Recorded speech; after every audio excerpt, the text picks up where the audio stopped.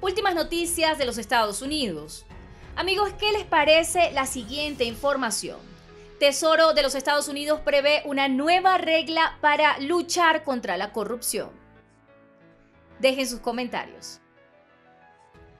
Vamos de inmediato con los detalles de esta información que tiene que ver con los esfuerzos de la administración de Biden para contrarrestar algunos problemas que siguen persistiendo en esta gestión.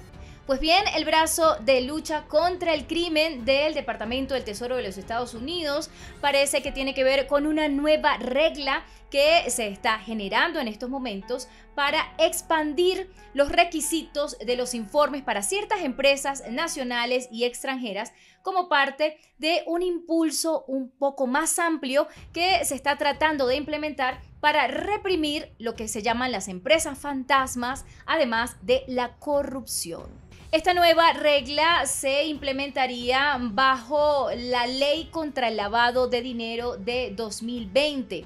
Esto tendría algunas implicaciones con esta normativa con el objetivo de expandir los datos sobre quién realmente posee o controla determinada empresa o compañía en los Estados Unidos y de esta manera, amigos, cerrar las lagunas en esta ley que de acuerdo con los expertos todavía existen, persisten en los Estados Unidos. Ahora bien, la nueva regla propuesta requeriría que las empresas afectadas informen lo que se denomina su identidad a la red de ejecución de delitos financieros, así como el nombre, la fecha en que fue creada, la dirección, la fecha de nacimiento de los propietarios, además de un número de identificación único para cada uno de sus principales accionistas.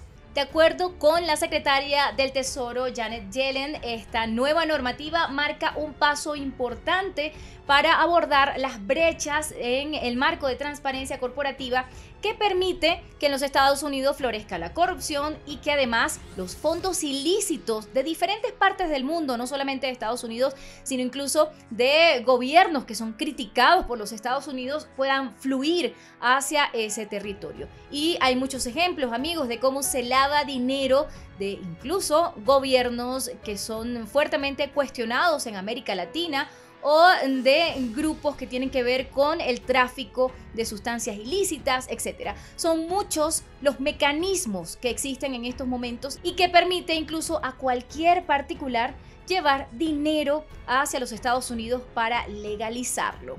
Así que eh, aparentemente las autoridades de este país no están ajenas a esta situación y están tratando de tomar medidas.